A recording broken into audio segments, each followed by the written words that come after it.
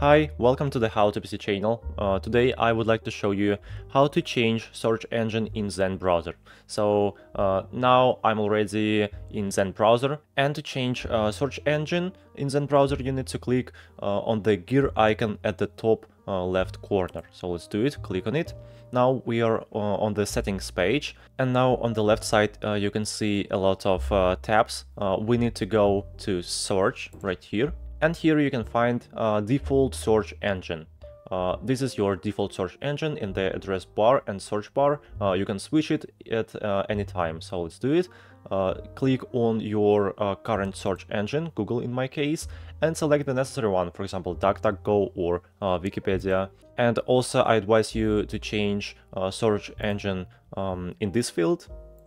Okay and now just uh, reload uh, the browser. And yeah, uh, now you can see that search engine has changed. Now you can search with DuckDuckGo. Let's type here wiki. And yeah, everything works.